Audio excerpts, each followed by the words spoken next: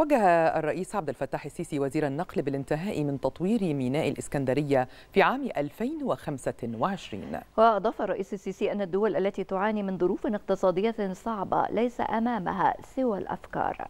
الدول اللي ظروفها الاقتصادية صعبة ملهاش غير الأفكار.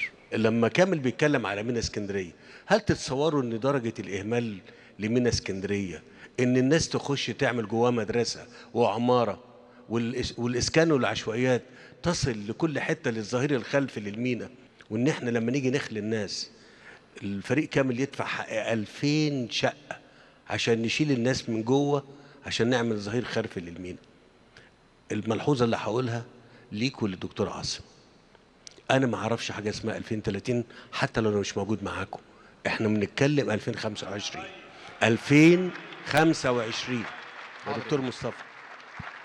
2025 حاضر يا فندم حاضر. 2025 يا كامل مش من اسكندرية يخلص 2030 لازم ده يخلص 2025 نقول موانينا جاهزة سكاكنا الحديد جاهزة الطرق بتاعتنا جاهزة بكل شيء.